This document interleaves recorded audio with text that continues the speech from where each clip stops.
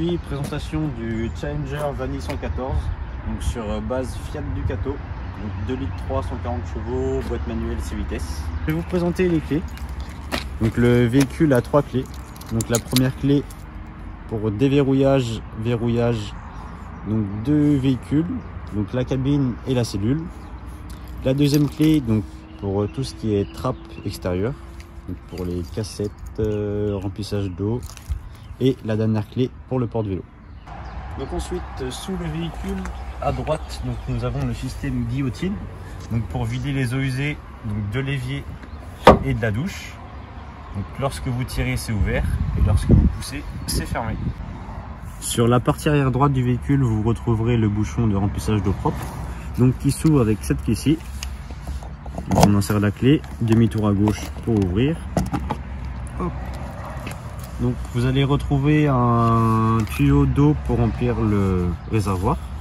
Donc lorsqu'il déborde, c'est que c'est plein. Donc pour refermer, même système à l'inverse. Demi-tour à droite et c'est fermé. Donc pour le porte-vélo, donc pour le déplier, c'est très simple. Vous abaissez l'élément. Bien veiller à mettre les sangles derrière les barres. Comme ceci. Donc vous avez ces deux pattes donc, pour accrocher le cadre. Donc, quand vous dévissez, la mâchoire s'ouvre. Et à l'inverse, quand vous revissez, elle se ferme. Et il y a un petit système anti-vol donc avec la dernière clé qui permet de verrouiller. Tac. Hop. Et voilà. Donc pour le refermer, système inverse. On remonte, bien veiller à enlever les sangles. On clipse et on baisse les barres. Lorsque vous mettez les vélos sur le porte-vélo, veillez à ce que les guidons du vélo n'abîment pas la vitre arrière. Donc à l'arrière du véhicule, vous allez trouver la perche pour le stop. Avec un système de rallonge, vous dévissez. Il faut l'insérer dans la petite fente. Demi-tour à gauche pour la verrouiller. Et ensuite vous tournez.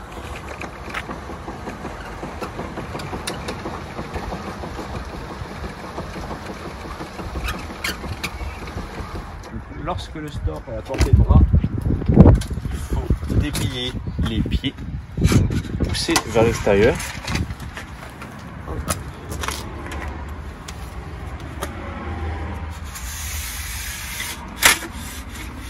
Et verrouiller avec le petit loquet. Donc il ne faut pas hésiter à pousser franchement vers le haut. Pareil pour l'autre côté.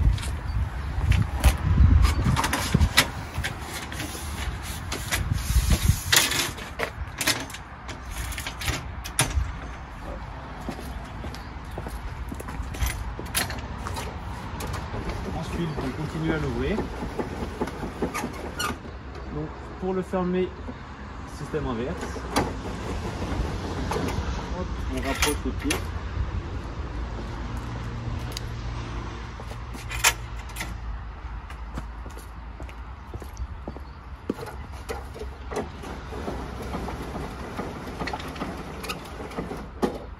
Et on les replie.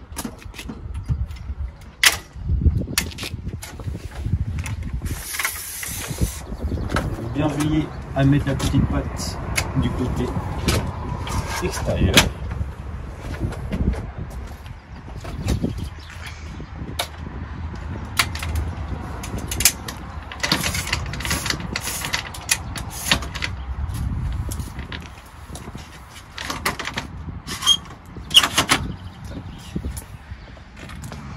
Et ensuite, on continue d'enrouler.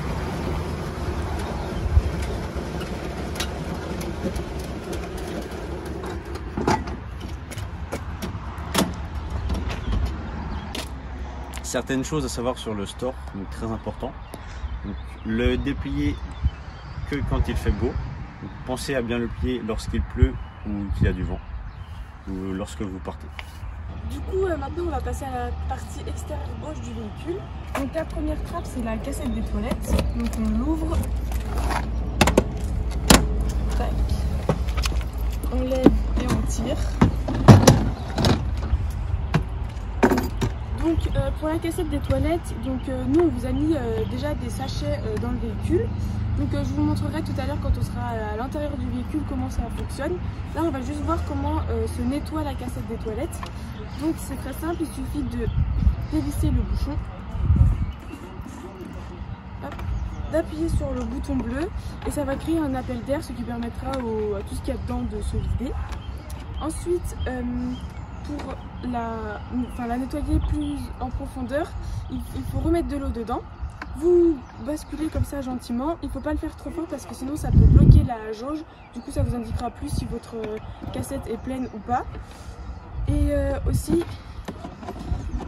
il y a un système euh, de roulette pour euh, transporter la cassette des toilettes. Donc là on referme important de bien entendre le clac pour euh, être sûr qu'on a bien clavé euh, la cassette de toilette et on referme.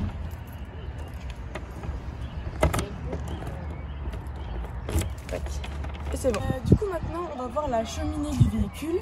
Donc ce qu'il faut savoir c'est que là il y a un capteur donc il faut jamais utiliser le chauffage pendant que la fenêtre est ouverte parce que sinon le chauffage va s'éteindre. Donc là maintenant c'est la prise du véhicule, donc la prise électrique.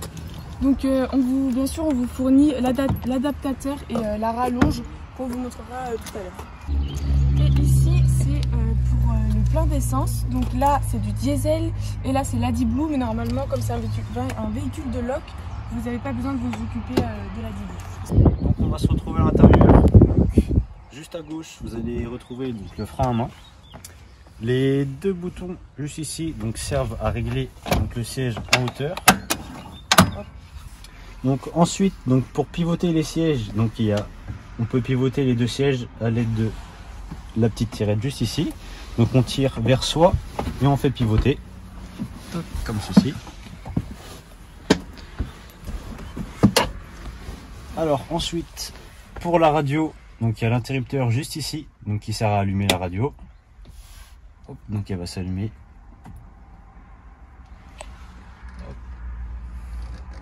Donc bien veiller à euh, éteindre l'interrupteur quand on, coupe le moteur parce que c'est indépendant. Donc ça peut vider votre batterie du, véhicule. Juste ici, vous avez le porte-carte avec vous pouvez mettre votre GPS et vous pouvez brancher soit en USB ou avec l'allume-cigare. Ensuite, euh, sur la partie passager, donc nous avons un vide-poche réfrigéré juste en haut, un rangement au milieu et un vide-poche en bas. Donc euh, sous le siège passager, donc vous retrouverez dans la petite valise le cric et le crochet de remorquage. Et dans la portière, vous retrouverez le kit d'anti-crevaison, donc avec le petit compresseur donc pour regonfler la roue. Donc pour le marchepied électrique, le bouton se situe à droite de la porte d'entrée. Donc il suffit d'appuyer vers le bas pour le sortir et vers le haut pour le rentrer. A savoir qu'il y a une sécurité. Si le marchepied est sorti et que vous mettez le contact, il va se rentrer automatiquement. À l'entrée, vous retrouverez le tableau de commande. Donc pour l'allumer, il suffit d'appuyer une fois sur le bouton de droite. Donc le petit signal sonore vous indique qu'il est allumé. À gauche, vous retrouverez le bouton pour la lumière. Alors, euh, juste ici, vous avez l'éclairage extérieur, mais ce véhicule n'en est pas équipé, donc ça ne sert à rien. Le petit robinet, donc c'est pour la pompe à eau. Donc hop, on appuie une fois, la pompe à eau se met en route. Donc c'est tout ce qui est pour euh, l'évier, la douche et les toilettes. Donc euh, avant de faire la vaisselle, de prendre une douche ou de la toilette, veillez à bien allumer la pompe à eau. Ensuite, vous avez, les indicateurs donc, de la batterie. En premier lieu en volts donc du véhicule, ensuite de la cellule. Vous avez le niveau d'eau propre, donc ici à 100%, le niveau d'eau sale qui est à 0%, et ensuite donc là, les batteries du véhicule en pourcentage. et là de la cellule. Pour allumer les lumières, donc il suffit de faire une petite pression sur le point bleu, comme ceci, et on peut ensuite régler l'intensité plus ou moins fort. Vous retrouverez le tableau donc pour euh, gérer tout ce qui est euh, chauffage, chauffe-eau. Donc euh, avec le petit sélecteur juste ici qui vous permettra donc de sélectionner donc en haut vous avez l'eau chaude. Donc le premier cran donc c'est l'eau à 40 degrés et le deuxième cran l'eau à 60 degrés. Ensuite la petite flamme donc c'est pour le chauffage intérieur du véhicule et tout en bas. C'est pour le chauffage du véhicule plus l'eau chaude à 60 degrés. Donc ensuite la petite molette de sélection donc qui sert à gérer le chauffage. Donc 1 c'est donc le plus froid et plus on va vers le 5, plus le chauffage va, le chauffage va être chaud. Vous avez la petite lumière orange, donc il faut attendre que la lumière devienne verte pour que l'eau soit chaude. Pour la rallonge de table, il faut prendre le petit loquet, le baisser vers le bas, puis tirer la rallonge. Donc quand on la replie, il faut bien entendre le petit clic. Hop, donc euh, bien euh, la verrouiller quand on roule. Donc pour mettre la table dehors, donc, il faut déboîter la table en la levant.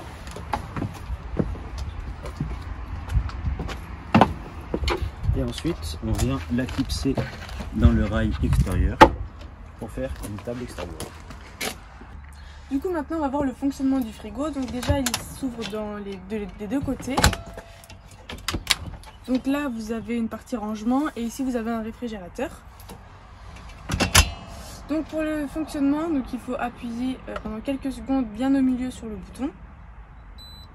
Le bip indique que le frigo est bien, bien allumé. Pour euh, gérer la puissance, donc il faut appuyer une fois, deux fois. Et donc là, après, vous pouvez gérer vous-même euh, en tournant le bouton. Et après, on rappuie pour sélectionner. Donc pour la gazinière, on soulève la plaque. Et pour, pour la faire fonctionner, donc on appuie sur le bouton rouge et on appuie et on tourne en même temps sur euh, l'autre bouton. Et donc voilà. Et après, on n'oublie pas de l'éteindre. Euh, une fois que vous avez fait votre plat, il faut bien faire attention que ce soit bien refroidi pour pas, euh, pour pas que la plaque ici, la plaque en verre se casse. Donc là, vous avez l'évier. Là, on va voir qu'il y a plusieurs rangements. Donc on tire sur la poignée. Vous en avez à gauche et à droite du lit. On va passer donc à la salle de bain. Euh, pour euh, prendre la douche, donc là vous avez le rideau de douche et plusieurs pressions sur euh, les coins pour accrocher le rideau de douche. L'interrupteur se trouve juste ici, donc sous le placard qui fait aussi office de miroir.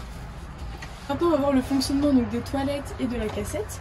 Donc il suffit d'ouvrir la cuvette des toilettes, d'introduire comme je vous disais un, sachet bleu qui vous sera bien sûr fourni dans le véhicule de location. Donc il faut euh, bien penser à ouvrir la trappe. Donc là vous avez une poignée. Là je suis ouvert, là c'est fermé. Donc il faut penser à ouvrir la trappe. Vous mettez le sachet dedans et vous appuyez sur la chaise d'eau qui se trouve juste ici. Et euh, je vous parlais aussi de la jauge. Donc la jauge se trouve juste sur le côté droite ici. Donc là, on peut voir que la jauge est verte, ce qui indique que la cassette est vide. Plus la jauge deviendra rouge, plus euh, la cassette sera remplie. Une fois l'utilisation terminée, donc il ne faut pas oublier de refermer la trappe. Ensuite, on peut fermer la, cuvette et les toilettes sont pivotables. Pour l'utilisation de la télé, il ne faut pas oublier euh, de bien allumer le tableau euh, Power et les lumières. Donc, pour la télé, il faut appuyer sur le bouton rouge de la télécommande.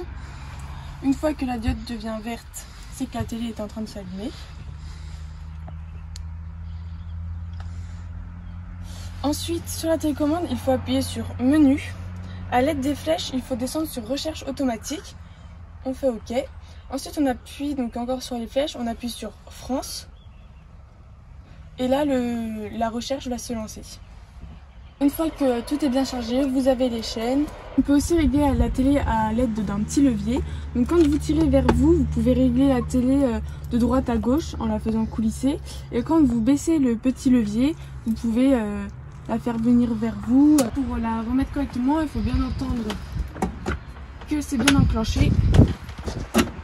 Pour le lanterneau, vous avez euh, l'occultant et la moustiquaire. Et pour pouvoir l'ouvrir, Il suffit donc euh, d'appuyer sur le bouton qu'il y a là et de tirer vers vous. Il ne faut pas oublier de euh, le rabaisser lorsque vous reprenez la route. Pour les deux fenêtres arrière vous sont fournis des occultants, pour la nuit. Pour les retirer, c'est très simple, il suffit de- d'enlever les ventouses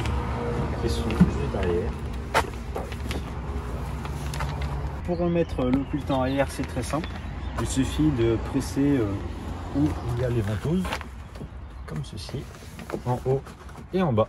Dans la trappe à l'arrière gauche, vous avez retrouvé l'emplacement pour les deux bouteilles de gaz. Pour allumer le gaz, il suffit de tourner la molette là, comme un barbecue. Donc ne pas oublier de la fermer quand on roule. Et si celle-ci est vide, il y en a une autre de rechange juste derrière. Lors de la location, nous vous fournissons une rallonge électrique avec l'adaptateur, ainsi qu'un tuyau d'eau et une paire de cales. Vous retrouvez aussi euh, quelques rouleaux de papier toilette ainsi que euh, deux recharges euh, pour les sachets pour les toilettes.